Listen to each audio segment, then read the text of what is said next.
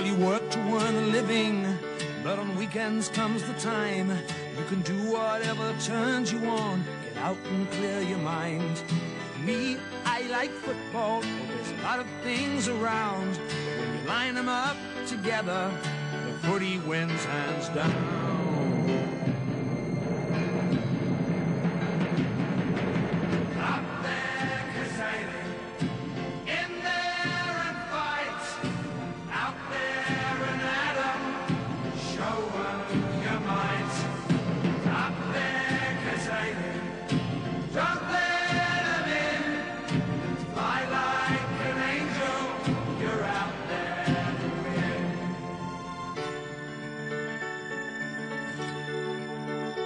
Now there's a lot more things to football than really meets the eye.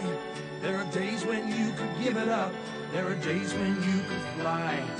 You either love or hate it, depending on the score. When the team run out or they kick a goal, how's the mighty roar?